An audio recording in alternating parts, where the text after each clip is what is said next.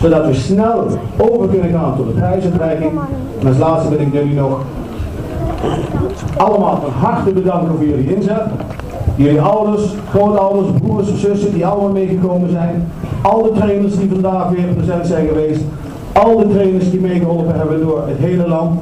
Eh, door de herfstvakantie heen. Komt toch heel, heel wat bekijken. En natuurlijk als laatste Fons en Johan en de hele organisatie die erachter staat. Want ik kom alleen maar heel snel even over van Engeland om, om hier erbij te kunnen zijn. Daar ben ik heel blij mee. Maar als hun het allemaal niet zo geregeld zouden hebben, zou dit absoluut niet mogelijk zijn. Dus heel graag een hartelijk applaus de trainers, voor jullie.